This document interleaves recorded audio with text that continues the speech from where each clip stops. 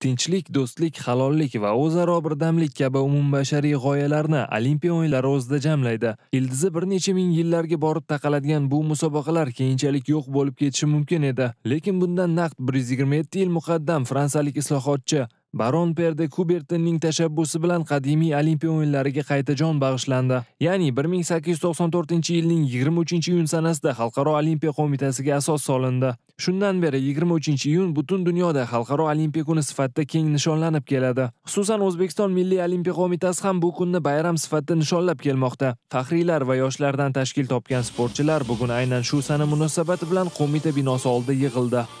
Olimpiyaga 1 oy qoldi. Man e, hammaga niyat qilib qolaman shu olimpiadada barchalarimiz borib shu oltin medalni kumush bronzani olib yurtimizni ya'ni muhtaram prezidentlarimiz bizga ishongan topshiriqlarni o'z vaqtida qilib bajarib yurtimiz oldida yuzimiz yorug' bo'lishni niyat qilib qolaman. Hammanglarga omad yor bo'lsin har doim bayrog'imizni tepalarga ko'tarilsin. Rahmat. Ayni paytda xalqaro olimpiya qo'mitasiga jahonning 206 mamlakati a'zo hisoblanadi. 1994 yildan e'tiboran o'zbekiston milliy olimpiya qo'mitasi ham ushbu nufuzli sport tashkilotining teng huquqli a'zosi sanaladi. 23 iyun butun dunyoda keng e, olimpiya kuni sifatida nishonlanadi. Zero olimpizm g'oyalarining asosiy tamoyillaridan biri ham aynan E, sog'lom turmush tarzini targ'ib qilish aholini barcha qatlamlarini sport bilan shug'ullanishga keng targ'ib qilishdan iborat. Shu nuqtai nazardan o'zbekistonda ham e, har yili bu bayram keng nishonlanib keladi.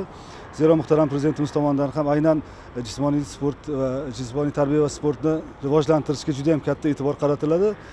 Hozirgi kunda bu yilgi olimpiya kunining biz uchun bugun nishonlanishi ham juda ramziy ma'noda.